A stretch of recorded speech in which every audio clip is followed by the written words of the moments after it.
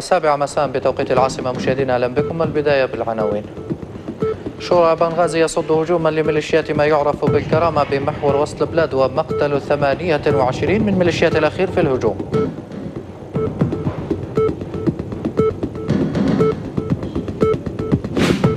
القوة الثالثة تؤكد بأن منطقة وادي اللود جنوب السرد تجمعا لميليشيات الكرامة والنظام السابق وتنظيم الدولة. في الجزائر انطلاق الاجتماع الوزاري الحادي عشر لدول جوار ليبيا.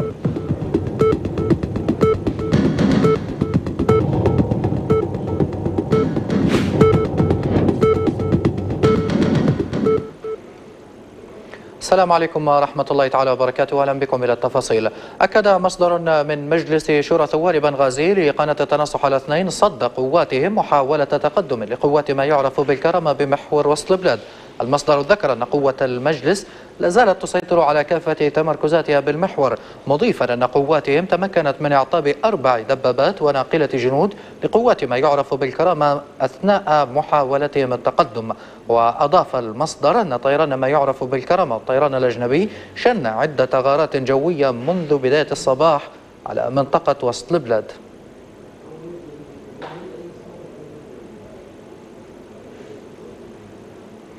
هذا وقتل 28 فردا من قوات ما يعرف بعملية الكرامة الاثنين اثر الاشتباكات التي شهدها محور وسط البلاد. ذلك حسب وكالة بشرى الإخبارية. الوكالة نقلا عن مصادر طبية أفادت بإصابة 47 فردا آخرين بينهم سبع حالات بتر أطراف حسب ما ذكرت.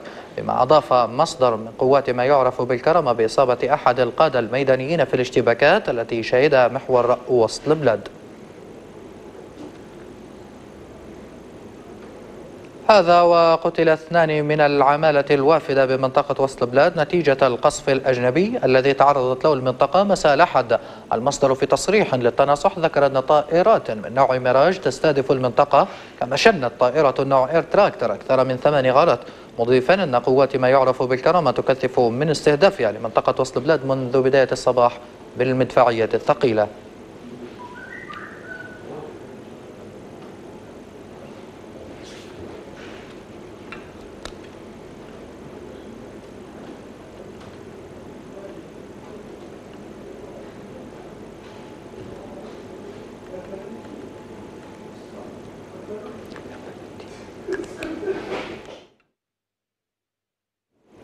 وينضم إلينا عبر الهاتف مشاهدينا أحد ثوار بنغازي السيد أحمد الجازوي. سيد الجازوي أهلا وسهلا بك في السابعة على شاشة التناصح. ولو تحدثنا عن آخر التطورات الميدانية في محاور القتال في مدينة بنغازي. السلام عليكم. وعليكم السلام ورحمة الله. بسم الله والصلاة والسلام على رسول الله. طبعا اليوم منذ بداية الصباح الباكر قامت قوات مجرم الحرب حصر بعد أن كانت تعد وتجهز آه، منذ أيام وتحشد العدة والعتاد على جميع المحاور قامت بالهجوم آه، بهجوم متزامن على اغلب محاور آه، وسط المدينة من جهة المينا ومن ومن جهة شارع عمر بن العاص ومن جهة الضريح ومن جهة الصابري والتحشيد الأكبر كان في من جهة السامه. لكن آه، ولله الحمد وفضل الله وسواعد الرجال الابطال من ثوار بنغازي أبطال مجلس الشورى ثوار بنغازي قاموا بصد هذا الهجوم رغم وجود آه، جميع أنواع الطيران الأجنبي الإماراتي والمصري والتي تحلق وتساند هذه القوات المسلمة. قاموا بصد هذا الهجوم ولم آه، يفقد أي تمركز لمجلس الشورى جميع تمركزات وزاره اي مجلس الشورى نعم.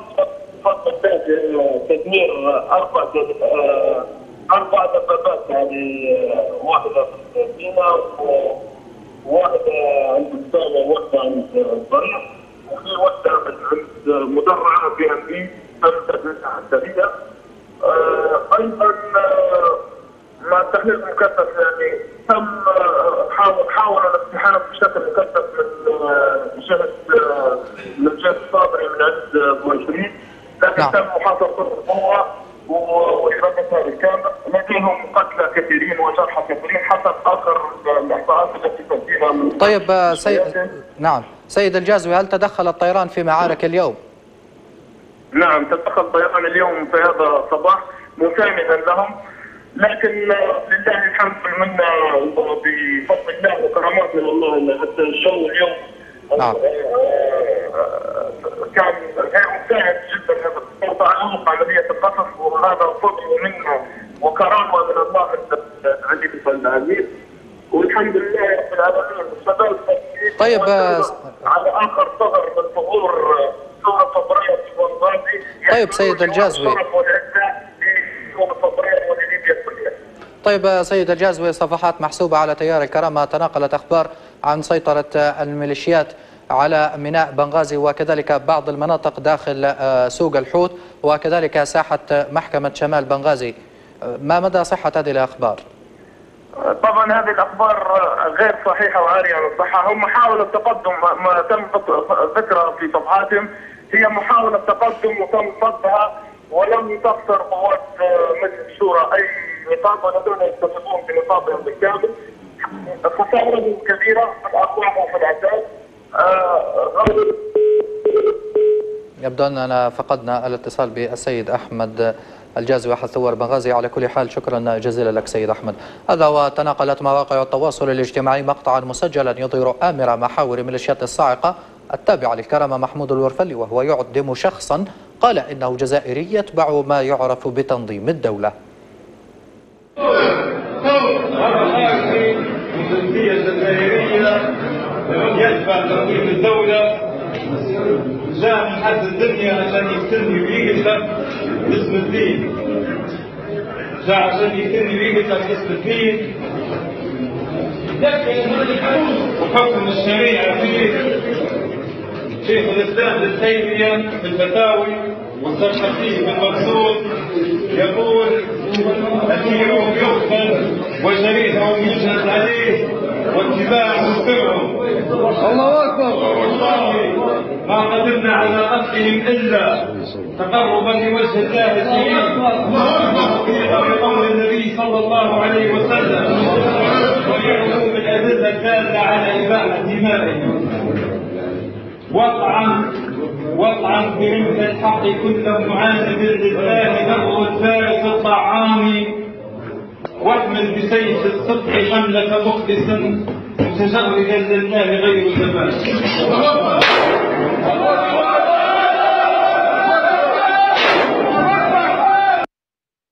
ونعود مرة أخرى إلى السيد أحمد الجازوي أحد ثوار مدينة بنغازي. سيد الجازوي كنا قد تحدثنا عن آه، إصابات ميليشيات الكرامة وكذلك محاولة تقدمهم آه، للسيطرة على مواقع مجلس شورى ثوار بنغازي آه، وبعض الأخبار والإشاعات التي تناقلتها صفحات الكرامة. هناك أيضا أخبار تفيد بأن مجرم الحرب حفتر أصدر تعليمات لقواته بالانسحاب من محاور القتال اليوم في منطقة وسط البلاد.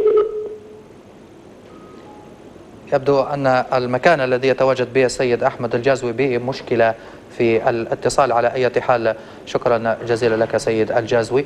قال القائد الميداني بسرايا الدفاع عن مدينة بنغازي أحمد التجوري في ذكرى مرور السنة الثالثة على ما يعرف بعملية الكرامة قال إن العملية التي أطلقها مجرم الحرب حفتر لم تأتي إلا بالتهجير وبالنزوح وبغلاء الأسعار ونقص السيولة وتعطيل مصالح المواطنين. ثلاث سنوات على نكبة الكرامة ومشروع حفتر المشؤوم اللي دمر به البلاد وخاصة بنغازي شرارة الثورة اقتصاديا واجتماعيا وسياسيا. آه، ثلاث سنوات عدا على راس ال- المواطن آه، البسيط ما بين نزوح وتهجير وغلاء ال- الأسعار وارتفاع سع- سعر الدولار ونقص السيولة وتعطيل مصالح العباد. المطار اللي كان قريب والناس يقضوا في مصالحهم والمرضى يسافروا من قريب آه، تو ما يخدم إلا لقصف وخراب وتدمير آه، مدينتنا بنغازي وطمس معالمها.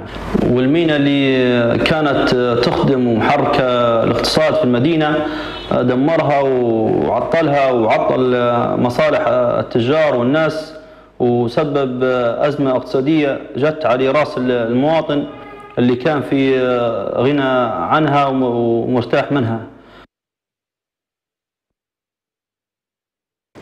وأضاف التجوري أن الليبيين كافة شاهدوا ما فعل مشروع مجرم الحرب حفتر في بنغازي. وكيف كانت المدينة قبل مجيء حفتر وبعده؟ إضافة إلى جره لأبناء المنطقة الشرقية الذين غرر بهم للقتال ضد إخوانهم.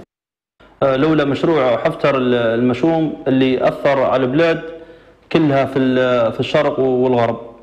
آه، قارنوا يهنا بين سعر الدولار والبضائع آه، قبل مشروع حفتر وبعده وكيف كانت بنغازي في نهضة اقتصادية وتوا وين وصلنا من معاناة وموت وإصابات في أبناء برقة. اللي غرر بهم حفتر. أما الترقيات والرتب والمزايا والصفقات لحفتر وعياله فهذه ثلاث سنوات عجاف في في برقة فمتى تفيقوا وتفطنوا لهذه المؤامرة والانقلاب اللي دار حفتر عليه ثورة فبراير؟ ودعا التجوري كافة قبائل المنطقة الشرقية للرجوع إلى الحق ونفض أيديهم من مجرم الحرب حفتر لإنقاذ البلاد. ندعو قبائلنا وهنا في برقة إلى إلى الرجوع للحق والعمل الجاد على وقف نزيف الدم بين أبناء ليبيا. ونفض ايديكم من المجرم الحرب حفتر وإنقاذ البلاد والعباد من هالمؤامرة اللي دمرت بلادنا. ونحن إيدينا ممدودة لكل من يسعى للإصلاح وحقن الدماء ولكل من هم مصلحة ليبيا ومصلحة أبنائه.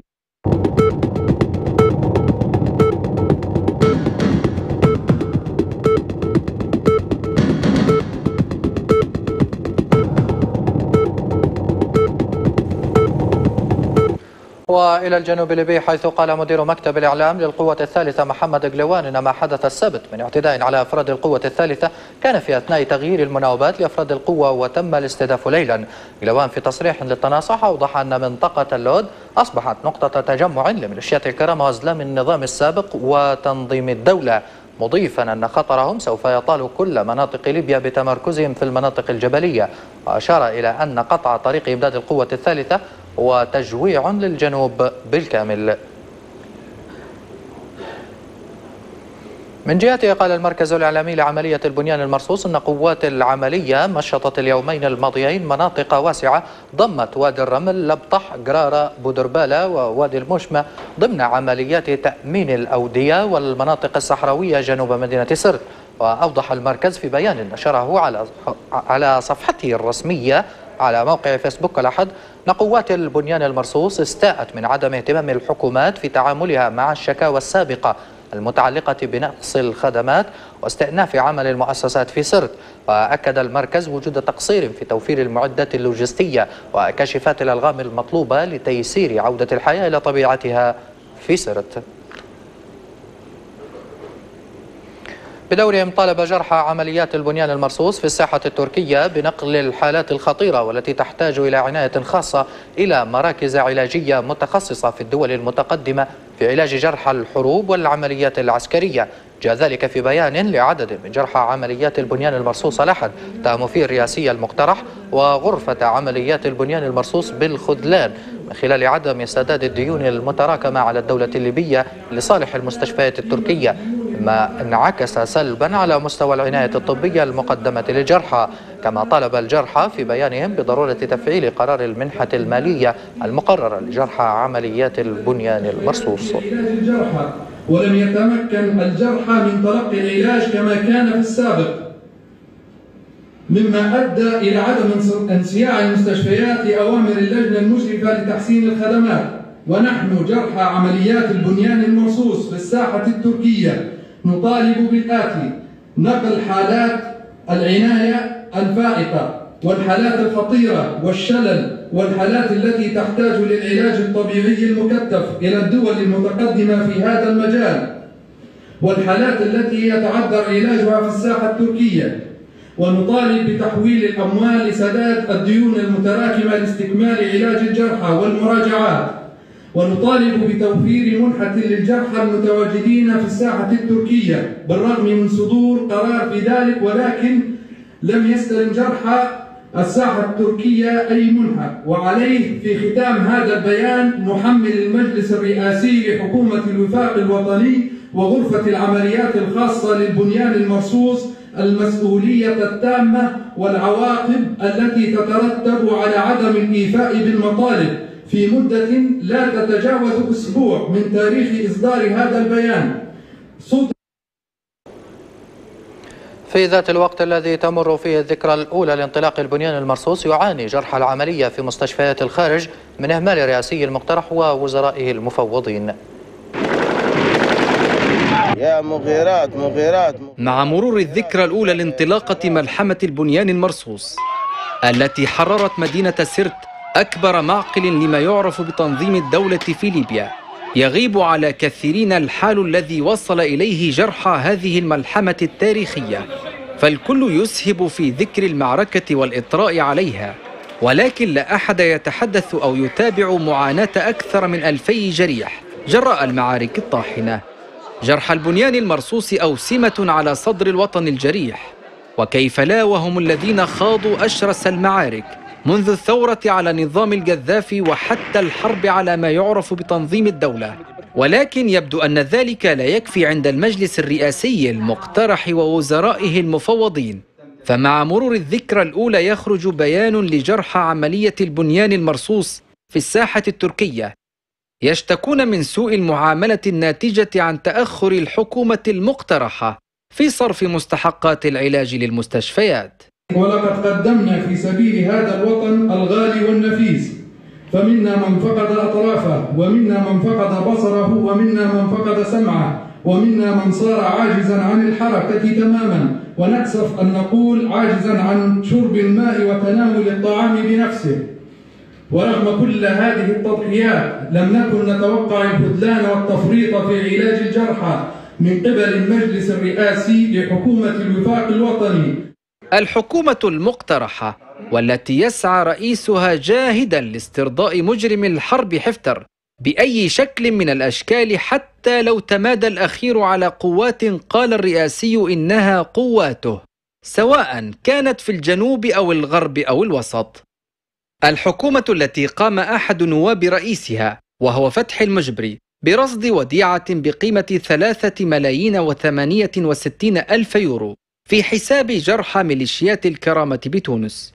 بمنطق المنطق أن لا حكومة في أي بلد وتحت أي ظرف تقوم بدعم عدوها الذي من المفترض أنه يقف ضدها ويتحين الفرص لإسقاطها. ولكن الأكثر منطقية من هذا هل كان السراج يوما طرفا مفصولا عن قائد التمرد المسمى حفتر؟ وهل كان لكليهما مشروعه لوحده؟ لا لم يكن ذلك. يقول أهل العقل والمنطق ولكن للمتسائلين عن البديل فغير ذلك تماما حتى جعلوا من السراج والمجبري والبرغثي ممثلين للثوار إنهم ساء ما كانوا يعملون. المعتصمين والمجلس البلدي من صلاة الاثنين عن اعتذارها لأهالي المدينة بسبب ما وصفته بتعنت المجلس البلدي ورفض لمبادرة تحكيم القضية التي قبلها المعتصمون. اللجنة في بيان لها أوضحت أنها وصلت إلى طريق مسدود مع المجلس البلدي وقدمت ما يمكن أن يكون حلا يحافظ على المسار الديمقراطي والتداول السلمي للسلطة إلا أنها لم تلقى إلا الرفض غير المبرر من عميد وأعضاء المجلس البلدي. Thank you.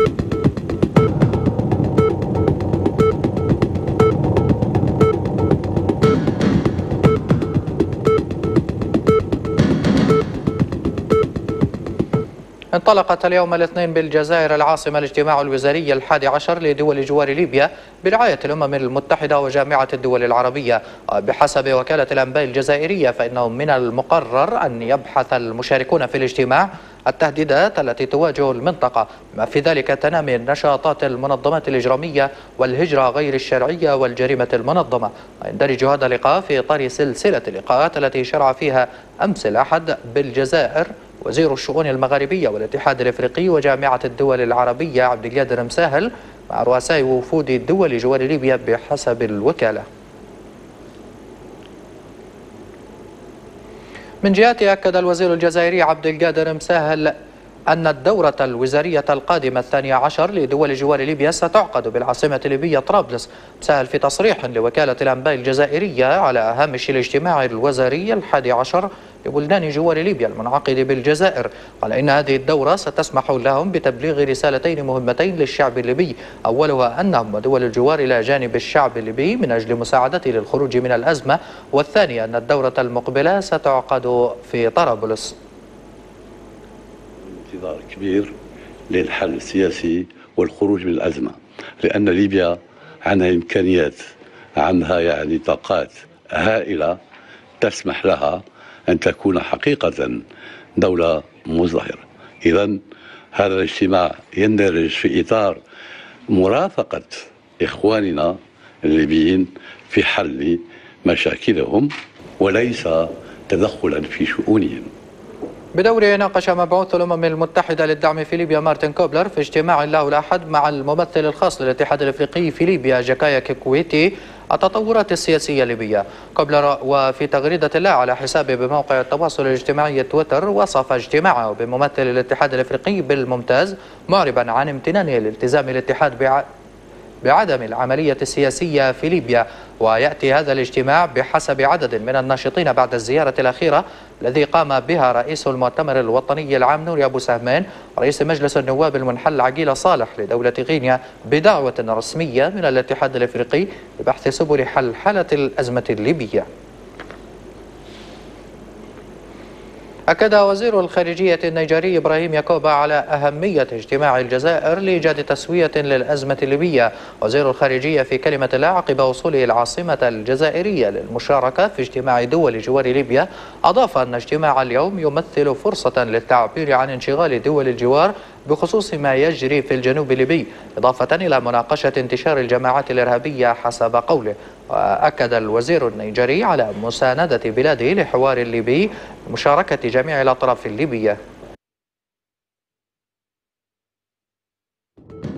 كما أكد وزير الخارجية السوداني إبراهيم غندور لنظيره الجزائري عبد القادر مساهل على ضرورة التنسيق السياسي والأمني بين البلدين لإعادة الاستقرار إلى ليبيا. وقال الوزير غندور في تصريحات صحفية عقب استقباله في الجزائر استعدادا لاجتماع دول جوار ليبيا. قال إنه جرى الاتفاق على التنسيق سياسيا وأمنيا بين الأجهزة المختلفة الوصول إلى سلام وأمن في ليبيا. وأكد الوزير السوداني مساعي حكومته لتأمين حدودها مع ليبيا. تصدي للحركات المتمردة التي تقاتل مع أحد الأطراف حسب قوله. في شأن آخر أكد عبد القادر مسال وزير الشؤون المغاربية والاتحاد الإفريقي وجامعة الدول العربية أن زيارته الأخيرة إلى مناطق الجنوب جرت بالتنسيق مع السلطات الليبية. سهل في كلمة بجلسة افتتاح اجتماع دول الجوار الليبي بالجزائر العاصمة الاثنين ردا على اتهامات مجلس النواب المنحل قال لقد تمت الزيارات التي قادتني إلى عدة مناطق ليبية بتنسيق وموافقة من السلطات المعنية. أشار إلى أن مجلس النواب المنحل اتهم الوزير الجزائري عبد القادر مساهل بانتهاك سيادة الدولة الليبية عقب زيارته الأخيرة إلى مدن الجنوب. قال وزير الخارجية الإيطالي أنجيلينو ألفانو أن تشكيل جيش ليبي تحت قيادة موحدة لا يمكن أن يتم إلا باتفاق كافة الليبيين شرقا وغربا وجنوبا. ألفانو في تصريح لوكالة الاسطنبة الإيطالية أشاد بتضحيات كتائب ثوار مصراتة وتحريرهم لمدينة سرت من قبضة ما يعرف بتنظيم الدولة. أضاف الوزير الإيطالي إلى أن الوضع في ليبيا غير مستقر ويحتاج للعمل من أجل تحقيق السلم والأمن في البلاد حسب الصحيفة.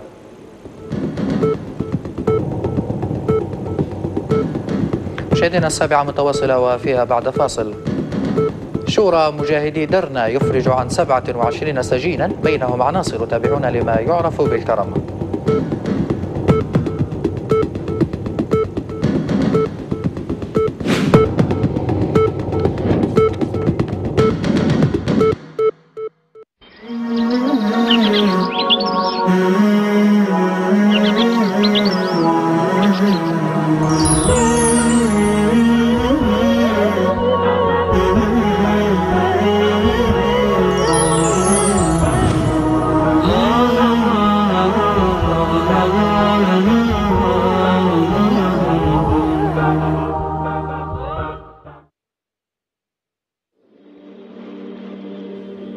أتظن أنك عندما أحرقتني ورقصت كالشيطان فوق رفاتي. وتركتني للذاريات تذرني كحلا لعين الشمس في الفلوات أتظن أنك قد طمست هويتي ومحوت تاريخي ومعتقداتي. عبثا تحاول لا فناء لثائر أنا كالقيامة ذات يوم آتي.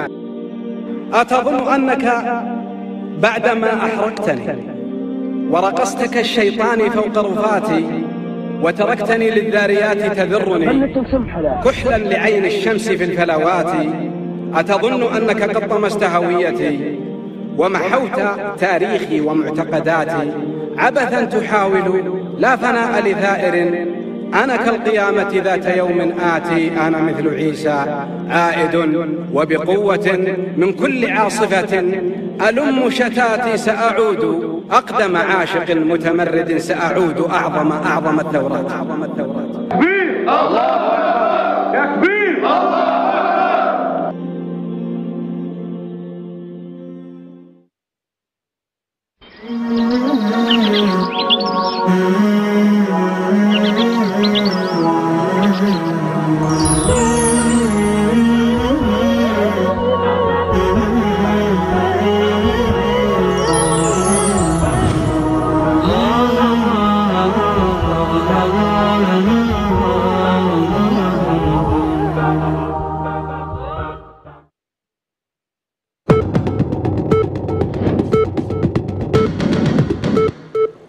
بكم مشاهدينا من جديد. لقي 11 مهاجرا حتفهم وفقد نحو 200 مهاجر بعد حادثي غرق قبالة السواحل الليبية حسب ما أفادت به المفوضية العليا للاجئين في الأمم المتحدة ومنظمة الهجرة الدولية. وفي الحادث الأول استقل نحو 132 شخصا زورقا مطاطيا أبحر الجمعة من ليبيا لكنه بدأ يغرق بعد ساعات.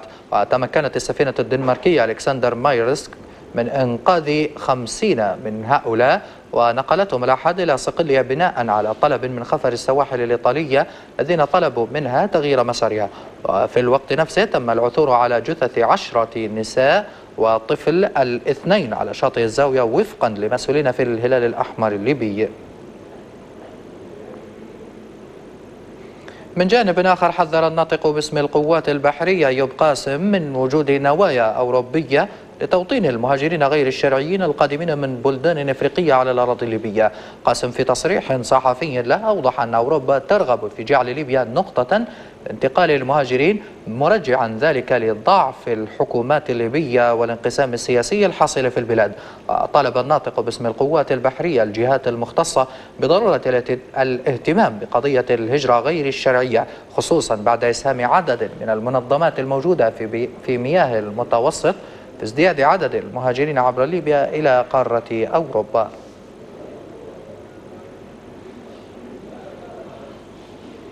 وغير بعيد أحبطت السلطات الإيطالية عملية تهريب لشحنة من مخدر ترامادول بميناء جنوة كانت في طريقها إلى ليبيا.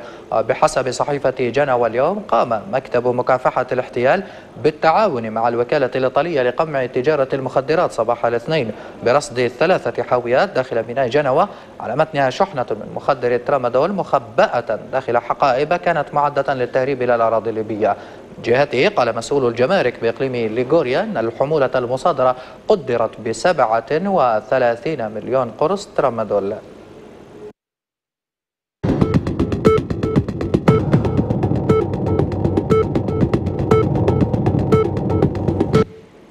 أفرج مجلس شورى مجاهدي درنا الاثنين عن 27 سجينا محتجزين لديه في قضايا مختلفة بعد توقيع تعهدات من ذويهم.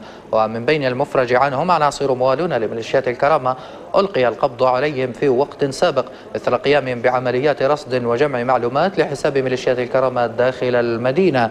وجاء قرار الإفراج بمناسبة اقتراب حلول شهر رمضان المبارك كمبادرة من مجلس الشورى الذي قدم بدوره مساعدات مادية وعينية للمفرج. عنهم بهذه المناسبة. أشاروا إلى أن المجلس كان قد أفرج في وقت سابق عن عدد من العناصر التابعين لما يعرف بالكرامة داخل مدينة درنا وخارجها بحضور عدد من أعيان القبائل والمشايخ. أمنية وقد رأى الأخوة في قيادة المجلس الإفراج عنهم وذلك اقتداء بسنة النبي عليه الصلاة والسلام وأصحابه واقتداء بهذه السنة قام الأخوة في مجلس الشورى بإطلاق سراح هؤلاء السجناء اليوم. قام مجلس الشورى المزدوجي درنا وضوحية اليوم بالإفراج على عدد من السجناء وعددهم 27 سجين آه، حيث أنهم كانوا محتجزين على ضمن قضايا مختلفة منها قضايا جنائية وقضايا أمنية. وقد رأى الأخوة في قيادة المجلس الإفراج عنهم وذلك اقتداء بسنة النبي عليه الصلاة والسلام وأصحابه. واقتداء بهذه السنة قام الأخوة في مجلس الشورى بإطلاق سراح هؤلاء السجناء اليوم. قام مجلس الشورى المزدوجي درنا وضوحية اليوم بالإفراج على عدد من السجناء وعددهم 27 سجين. أثنى المجلس البلدي لمدينة سبع على جهود حكماء وعيان قبيلتي أولاد سليمان والمحاميد في إيقاف الاقتتال بين أبناء المدينة الواحدة. المجلس في بيان له طالب الجهات المختصة بتحمل مسؤولياتها في الجنوب الليبي من خلال دعم الأجهزة الأمنية للقيام بدورها بالشكل المطلوب. وناشد بلدي سبها وسائل الإعلام بتحري الصدق في نقل المعلومات قبل بثها والكف عن البحث عن الإثارة الإعلامية على حساب دماء أبناء الليبيين حسب وصف البيان.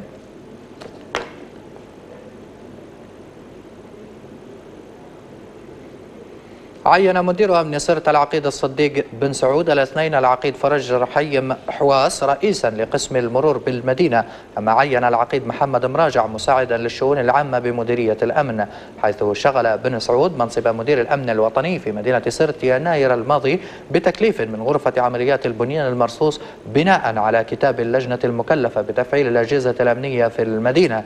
ذكر أن العقيد بن سعود من الضباط المتميزين بمديرية أمن سرت الذين قدموا مجهودات وأعمالا متميزة لمديرية الأمن منذ سنوات ويشغل بن سعود قبل تكليفه رئيسا لمكتب المرور والتراخيص بمديرية أمن سرت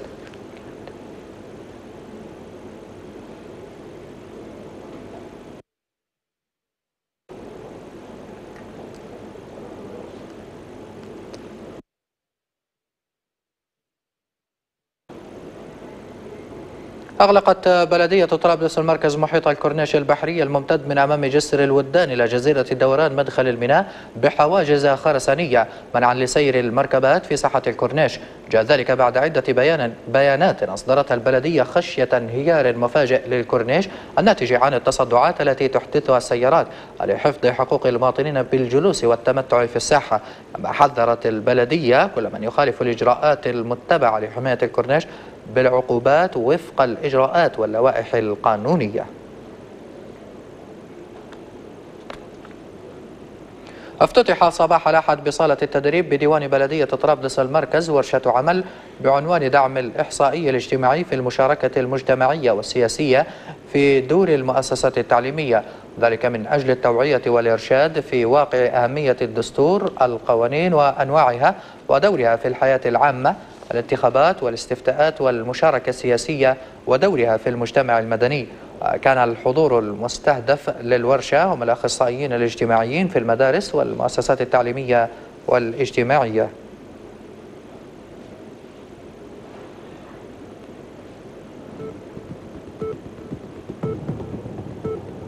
وقبل ختام السابعة مشاهدينا تذكير بأبرز ما ورد فيها.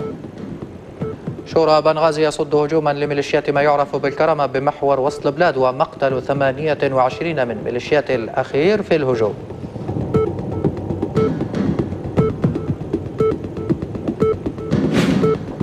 القوة الثالثة تؤكد بأن منطقة وادي اللوت جنوب سرت تجمع لميليشيات الكرامة والنظام السابق وتنظيم الدولة.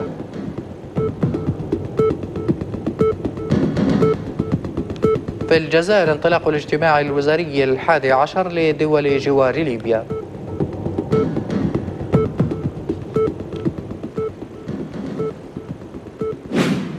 وجاء في السابعة أيضا شورى مجاهدي درنا يفرج عن 27 سجينا بينهم عناصر تابعون لما يعرف بالكرامة.